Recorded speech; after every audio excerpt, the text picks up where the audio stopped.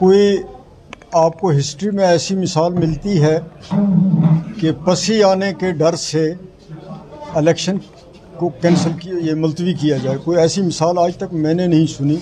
ये पहली बार है। तो ये एक अनडेमोक्रेटिक है। इससे लोगों का गुस्सा और बढ़ेगा। इसकी कोई जस्टिफिकेशन नहीं है।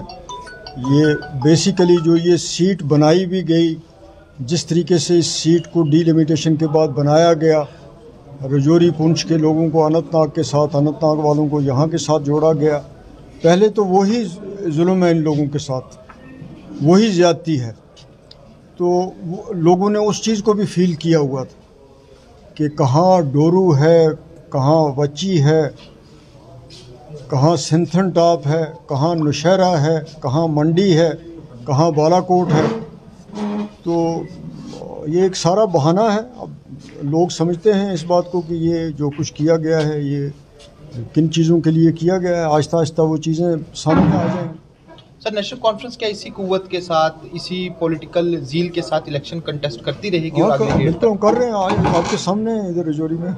किस तरह की कैंपेन सर नेशनल कॉन्फ्रेंस की तरफ़ से इस सीट पर चल रही है? मुझे लगता है कि जो कंपेन यहाँ पे नेशनल कॉन्फ्रेंस की जमात की बात ही नहीं है। हर शख्स चला रहा है, हर आदमी चला रहा है रजौरी पुंछ का। वो शायद किसी और जगह नहीं चल रही।